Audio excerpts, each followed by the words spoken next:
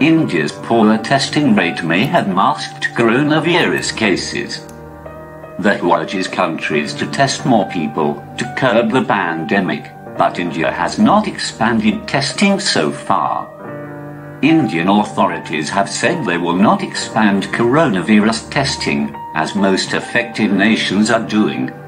Despite criticism that limited testing could leave COVID 19 cases undetected in the world's second most populous country, the World Health Organization has urged countries to test as widely as possible to curb the pandemic.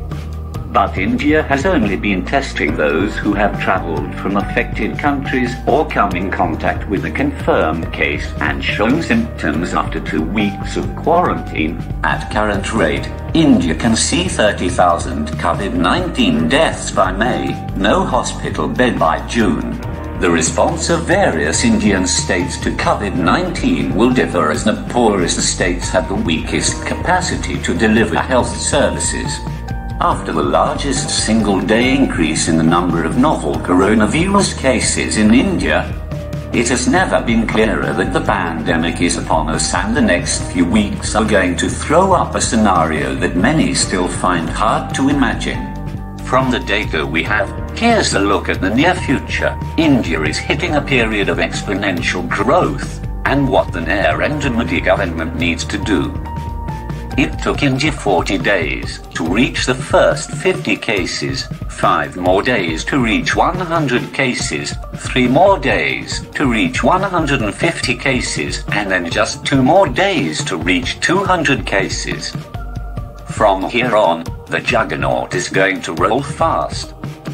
Two months after India reached almost 1,000 cases, billed by Prime Minister Narendra Modi as a people's curfew against coronavirus.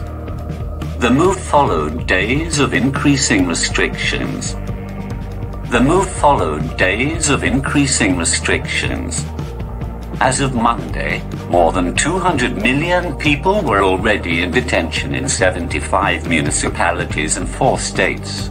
India's rail service, which until recently carried some 25 million passengers a day, has announced that trains will stop running until March the 31st at the earliest.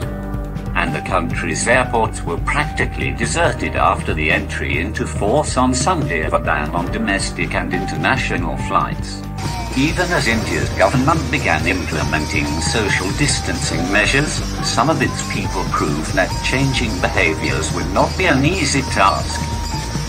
Across the country, people assembled on their balconies and in doorways at 5 p.m. on Sunday to applaud the nation's health workers, responding to a request from Prime Minister Modi to show solidarity while practicing social distancing.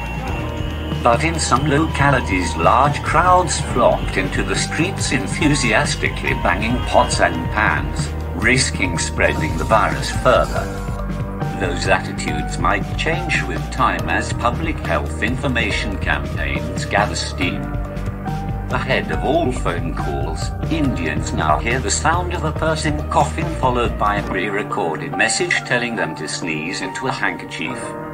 Wash their hands and keep their distance from people who are showing symptoms. But concerns remain for the millions of Indians living in cramped urban slums, where social distancing is unfeasible and hygiene facilities are already poor. India has just one hospital bed per 2,000 citizens, far below the World Health Organization's recommendation of 20. Modi urged Indians to prepare for a long haul. He said, It's the beginning of a long battle. People shouldn't come out of houses in states which have announced a lockdown. In the rest of the states, if it isn't very important, don't come out of your houses.